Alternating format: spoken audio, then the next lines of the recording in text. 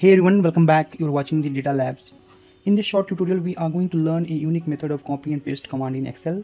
So let's move to the Excel file. And if you look at this here in Excel, we have a table and that is structured in a different way, basically like, you know, name and salary uh, are in the same column basically in column B so name and then salary name and salary so this is how it's repeating. So what we need to do we need to take this copy the name paste over here and again copy the salary and paste over here okay? And we will be using the copy control C and control V method over here. So let's start doing it. So you need to select this entire range that is the data range.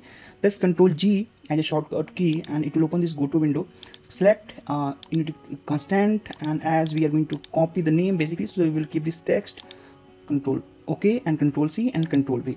Similarly, we will select this, this data range, press control G, special, constant and untick all this keeping the numbers okay press control c and then control v so this is how you can separate the number and text uh, using complement method